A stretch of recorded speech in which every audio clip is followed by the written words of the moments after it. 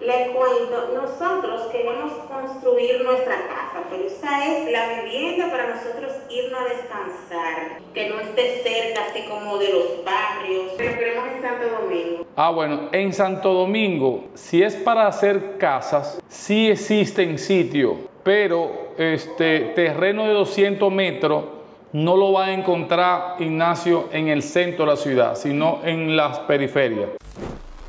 Le cuento, nosotros queremos construir nuestra casa, pero esa es la vivienda para nosotros irnos a descansar. Por lo tanto, vamos a hacer algo cómodo y confortable. Y para eso necesitamos un lugar sumamente tranquilo. Sí. Un lugar bonito, que sea ameno, que no esté cerca así como de los barrios, que las casas sean eh, eh, como que bonitas para que no vayan a perder el valor. Claro. Y, y los alrededores, eso que sea bonito, que sea de 200 a 250 metros. Es como nuestra casa ya, que ya eso va a ser la casa, que si nos vamos a Dominicana, y vamos a vivir con nuestros hijos, como, como la casa maternal. Pero mientras tanto, Ignacio va yendo y viniendo, ¿verdad? Va yendo y viniendo, así, ok. Pero queremos en Santo Domingo. Ah, bueno, en Santo Domingo, si es para hacer casas, sí existen sitios, pero este terreno de 200 metros no lo va a encontrar Ignacio en el centro de la ciudad, sino en las periferias. ¿Me doy a entender? Por, por ejemplo, hay zonas como Matúa o Matúa, que son centros que están en la periferia, que tienen terreno, condominio cerrado, pero ya son casas que son, vamos a decir, un turismo montañoso o un turismo ya, me van siguiendo, no están en la ciudad, sino que están muy cerca de la ciudad. Ahora, si me dicen, no, Calderón, yo no quiero montaña, yo quiero estar en la ciudad, pero que no sea en Villamella, pues podría ser todavía Arroyo Hondo. ¿Ok?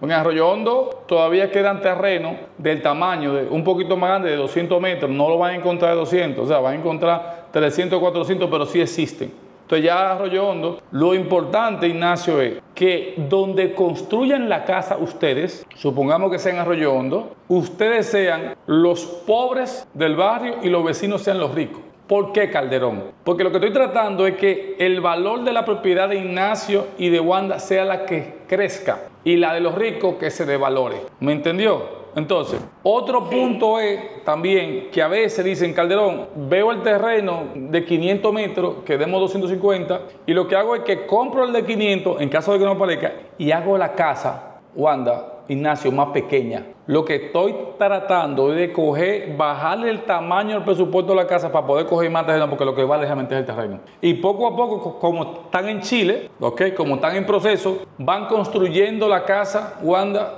Ignacio, por etapas, ¿ok? Ustedes ya tienen niños. Sí, ¿Cuántos son? Wanda? tres. Tres. Entonces, si son grandes ya. Ah, ok. Vienen camino por ahí. Ok, entonces, ¿qué pasa? Si son tres, lo que pueden hacer es de qué manera en el presupuesto que tengan para comprar el terreno y para hacer la casa, solamente construyen, Ignacio, las ambientes, la estructura que es muy indispensable para que puedan agarrarlo. Le digo esto porque es muy probable que salgan a buscar terreno de do- de 200 metros en Arroyondo y no lo encuentren, porque son muy pequeños. ¿Me entendieron? Pero a ver, y tenemos una duda, porque hasta donde yo tenía entendido, 200, 250 metros era mucho. Es mucho, es mucho para una casa normal. Lo que pasa es que en Arroyondo hay casas anormales de grandes. Ah, ya.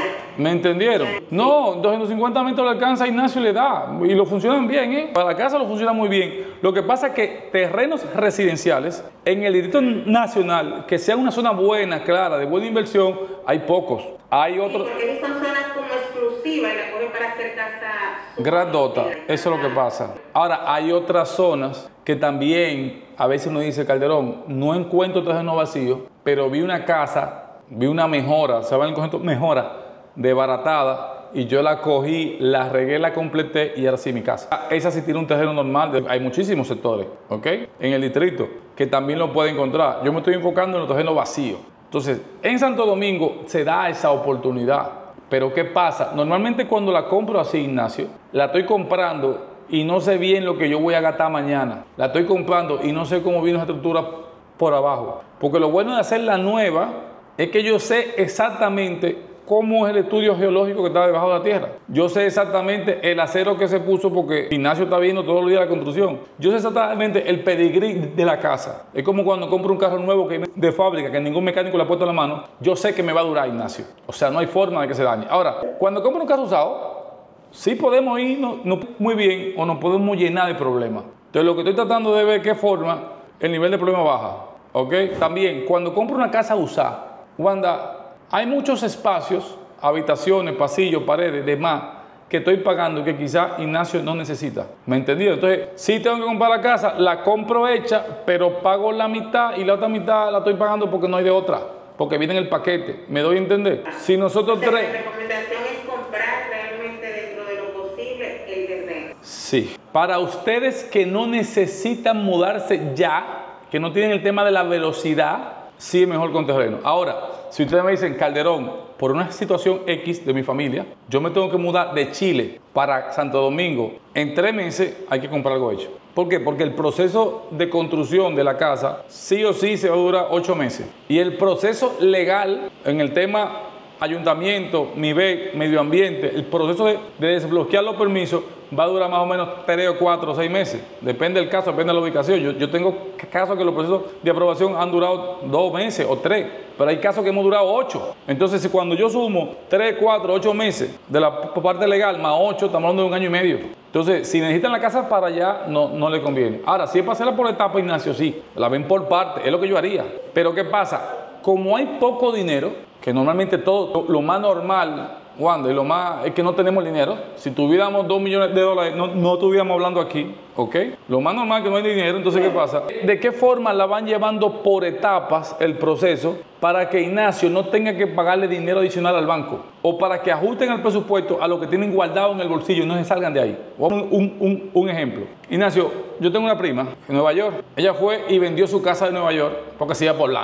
¿Ok? Cuando la vende, la venden un millón, pero cuando ella se va a a comprar la casa que ella quería, la casa que quería no cuesta un millón, cuesta un millón doscientos. Por 200 sencillamente no pudo comprar. Pero para ella hubiera sido ideal, Wanda, quitarle esa casa, dos habitaciones, quitarle la piscina, quitarle los baños y ahora sí ya puede pagar un millón. ¿Qué es lo que pasa con ustedes? Nada más tenemos este chin de dinero. ¿Cómo yo hago algo que realmente se ajuste? No como cuando yo voy que Wanda va sola a una pizzería y la pizzería como quiere vender, le quiere vender 14 pedazos, pero es que Wanda además se quiere comer cuatro pedazos, pero tienen que pagar todo porque ese es el combo. No. Entonces le sale demasiado caro. No es que eso es lo que debe de pasar. Entonces, cuando yo tengo una familia y tengo tres niños, una casa de tres habitaciones puede ser de, de 100 metros cuadrados, que me caben tres habitaciones, hasta 600. De 100 a 600. Ahora, mientras más grande, más cómoda, pero mientras más grande, más cara. Aquí el punto está, ¿cuál es el punto del presupuesto específico donde Wanda no paga tanto de interés al banco? Me va siguiendo. Así sí me gusta. Siempre, siempre hay que pagar al banco, porque una casa es cara. O sea, una casa no es una bicicleta. Pero hasta qué punto Wanda hace un concepto abierto, que no sea un laberinto, que no ponga pared innecesaria, ni que pierda dinero, y que sea específicamente en función a los gustos de Wanda y de su familia. Y así la pueden llevar por etapas. ¿Me entendido? De manera que la casa, si van ahí a Chile, van a volver, vayan a Chile, van la van usando así, siguen trabajando en Chile, la van haciendo aquí. Llega un punto que ya pueden venir para acá. Claro, que, está lista, ya, ya. ¿Me entendió? Perfectamente. Eh, sí, eso, eso, es justo eso le iba a comentar. O sea, que nosotros queremos subir, para por ejemplo, abajo, eh, eh, si la piscina, la sala, en el segundo piso una sala de estar o, o las habitaciones. Así sí. Poder poner una terraza. O sea, nosotros le, le, vamos a enviar el diseño. Nos gustaría que se viera el diseño de casa que queremos para que así también pueda tener una idea. Claro. Porque nosotros queremos la casa para arriba, aprovechar para arriba. Es una muy buena idea. Yo le he hecho antes. Hubo un caso en Santiago que pasaba lo mismo. ¿Y qué hicimos? Bueno, en esa casa de tres pisos, muy vertical, se hizo vertical. ¿Sabe por qué? Porque la familia encontraba la felicidad alrededor del patio. En el patio hacían una comida grandota en Navidad. En el patio tenían una gran piscina. En el patio tenían la cocina fuera. En la, cocina, en vez de en la casa, estaba fuera en el patio. Era el, el ambiente cómodo. Entonces, para poder lograr la mayor cantidad de patio, lo que hicimos fue que todo el espacio que consumía la casa en el primer nivel, todo ese espacio, lo mandamos al piso 2 y piso 3 y el roof. Entonces, lógicamente, en el, tercer piso allá arriba, era como la torre de control, ahí estaban las habitaciones totalmente del matrimonio. Y allá arriba está en el piso, una gran habitación con un gran walking closet, con un gran baño. Allá arriba, y la mejor vista, claro. En el segundo piso, las habitaciones de los hijos más grandes, ¿ok?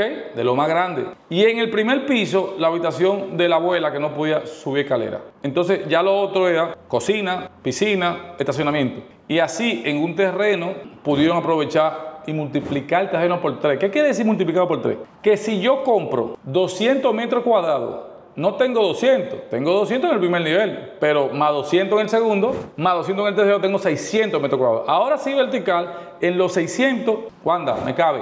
Ahora, tengo que saber, ojo allí, porque no todo es tan bello como lo pinta Calderón, que dentro de 50 años, dentro de 50 años, porque ustedes son jóvenes, Ignacio, la escalera va a ser un cáncer para mí. Ojo, pero a ustedes les falta demasiado, lo pueden hacer. Sí, porque de aquí a 50 años vamos a ver.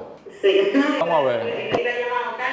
Dígame, ya, ya, aquí, de aquí a 50 años tienen para hacer cuatro casas de esas. Eso no. Dios mediante, así será. Así. Entonces, según eso de los niveles, que realmente ya no tengo 200, sino eh, 400, 600 metros, puede ir con 250 metros si logramos lo que nosotros queremos. Sí y no, sí y no, porque por ejemplo, a veces uno dice Calderón, compré el terreno de 200 metros, pero en el sitio donde lo compré hay una ley de condominio que solamente me permite en la casa de dos niveles. ¿Me entendido? Entonces ya ahí se me frena. Ahora, eso no en, todas en todos los sectores. En la mayoría de sectores me van a permitir tres niveles y en otros que está cerrado en condominio por un tema de línea urbana, me van a decir no. Si ustedes van a comprar, yo llevo, yo estoy construyendo varias obras así ahora mismo. Calderón, aquí la mata dos, dos niveles. Pueden hacer un techo abierto, pero hasta dos. ¿Qué uno hace? Bueno, ya no. Ahora, hay casos que dicen, no, Calderón, para arriba. Y si, la, y si la densidad me lo permite, pues, se puede. En el 50% de los casos se puede. Y en ese caso usted no buscaría, imagino, varias opciones. Por lo menos dos terrenos. Mira, estos dos terrenos se asemejan a lo que tú quieres. No tienen la misma cantidad de metros, quizás tienen más, pero es lo que más se asemeja a lo que ustedes necesitan según lo que me han practicado. Entonces, voy a hacer. Sí, ahí yo le voy a dar una idea. Mire, a veces uno dice, me ha pasado, uno dice, Calderón, yo quiero un terreno de 200 metros porque realmente no quiero gastar mucho presupuesto en el terreno. Quiero metérselo más a la casa, ¿verdad?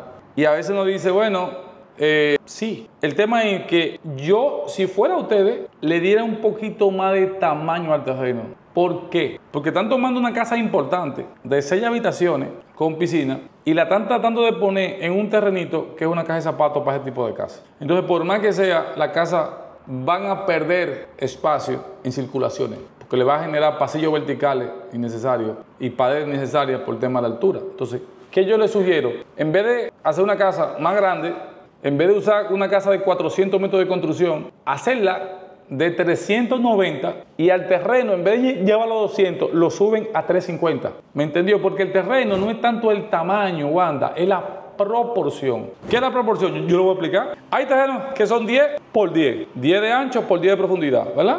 ¿Verdad? 10 por 10. Pero hay terrenos que tienen, si yo multiplico 10 por 10, son 100 metros cuadrados. 10 de ancho y 10 de profundidad. Pero hay terrenos que son 5 por 20. 5 por 20 también son 100 metros. Lo que pasa es que en un terreno se puede hacer de todo y en un terreno no se puede hacer nada. Antes de ustedes venir, es bueno que, ya que van a venir a ver propiedades y a ver casas, como que tengan una expectativa real de los precios en cuanto a las obras, en cuanto a lo que van a necesitar. Y yo les voy a dar una idea. Díganme una cosa. ¿Cuántas habitaciones quieren? ¿Cuántos baños? ¿Marquesina? ¿Cómo, cómo las quieren? Pues yo voy a ver si les puedo dar una idea de por dónde anda. Sí, mire, nosotros tenemos ya tres niños y uno que viene en camino sería cuatro. Ok. Nuestra habitación serían cinco y uno de visita, serían seis habitaciones. Es, es buena, es buena. Entonces, ¿qué pasa? Si son seis habitaciones, ¿cuántos baños? Eh, ya ahí sería usted el arquitecto. Dentro de las habitaciones, ¿cuántos baños nos recomienda? Si cada uno baño, si quizás se puede hacer un baño eh, para dos habitaciones. Ahí le voy a una idea que le va a ayudar. ¿Cuántos varones son? ¿Cuántos niños varones son? Todos son varones. Ay, pues mejor, se salvaron, mejor, porque mire qué hacemos. Normalmente cuando uno dice, Calderón, ¿cuántos baños necesito? ¿Quién decide eso? Los baños no lo va a decir la cantidad de gente, lo, a- lo va a decidir la edad de ellos. Cuando yo veo niños, ¿qué rango tienen de edad? El mayor tiene 14 Ajá. y los demás eh, se llevan de 2 a 3 años. ¿no? De dos a tres años. Uno Entonces, ¿qué pasa? de 5 y uno de 3. Yo tengo que provocar en el diseño de la casa que si son seis habitaciones, tres habitaciones, la mitad se alimentan de un solo baño. Y es haciendo un baño duplex con tres puertas. Todos ellos, desde adentro de su habitación, desde adentro van a entrar al baño, al mismo baño. Lo que pasa es que son baños que tienen otra conformación y lo que estoy buscando es rebajarle un dinero fuerte a la casa para no construir dos baños más que al final van a ser necesarios, ¿ok? Porque estamos hablando de niños, no son todavía adultos. Ahora, ya ahí eliminamos un buen billete, porque si tres habitaciones de los varones se comunican al mismo baño por dentro, no que tienen que salir del pasillo, pues ya ahí mejoramos un poco el tema. Ahora, ¿cómo va a ser el baño? Dentro de ese baño, por dentro, cuando yo entro, va a tener un pequeño espacio de lobby y el baño adentro va a tener una puerta para la ducha, una puerta para el inodoro y en el centro dos do bol de cepillarse con un gran espejo, muy parecido como lo hacen los hoteles. ¿Me doy a entender? Entonces lo que estamos haciendo es que con un inodoro, everybody, con una ducha, everybody, y pueden entrar los tres, uno a bañarse en privado, uno al inodoro en privado y dos a cepillarse en privado y lo logramos y rebajamos un buen dinero. Que ese dinero se lo ponemos a la piscina o lo que quieran inventar después, porque, ¿me entendió? Ok. Entonces, ya por ahí bajamos.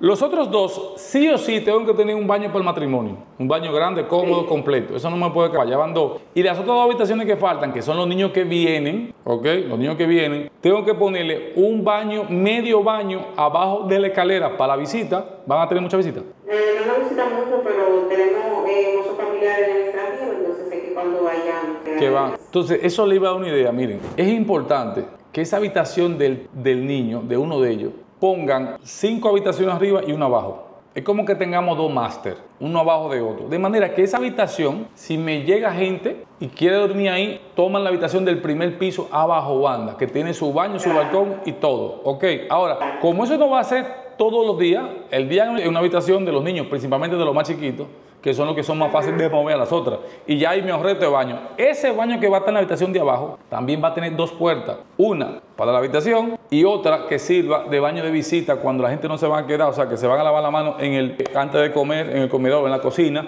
y en vez de entrar a la habitación, entra al baño. Ahí nos ahorramos otro baño. Yo necesito quitar cosas innecesarias pero tener mucho ingenio para poder distribuir la casa y que el precio de ustedes le mejore, le baje. ¿Me entendieron? Así me gusta.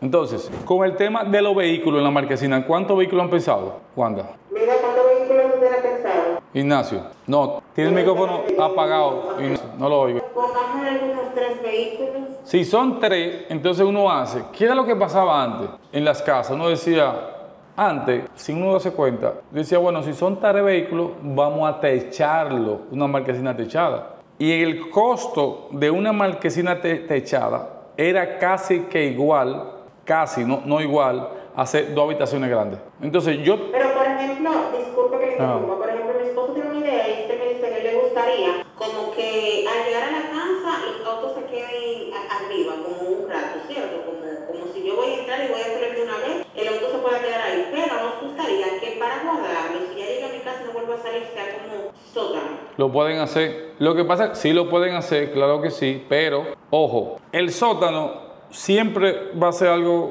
se usa mucho, quizá en Chile no sé ya, allá también, sí lo puedo hacer, pero tengo que saber que cuando bajo el vehículo, el costo de guardarla estructuralmente abajo es más caro. O sea, hace más rico a Calderón. No quiero decir que no lo hagan, sino que lo tengan en la valoración. Sí, sí, pero no funciona. Porque, ¿Por qué? Cuando yo voy a resolver el tema de vehículos, yo digo, bueno, a mí también me gustaría llegar a casa, que el carro se quede afuera y no vuelva a entrar. Podemos hacer una U. ¿Ves cuando hacen una U? Que hacen una U, el carro entra, se para ahí si no siguen. Y ahí los carros están en fila y no hay que parquearlo. Yo llegué a mi casa, me desmonté y ya, y queda el vehículo cerrado automáticamente. Pero esa U mejora el precio. Ahora, si tienen un poquito más de presupuesto y se sienten cómodos, Calderón, Calderón, me siento cómodo guardándolo abajo, pues lo ponemos abajo. Yo les voy dando ideas, lo van haciendo conmigo, pero al final la decisión es de Wanda y de Ignacio. ¿Eh? Vamos haciendo juntos.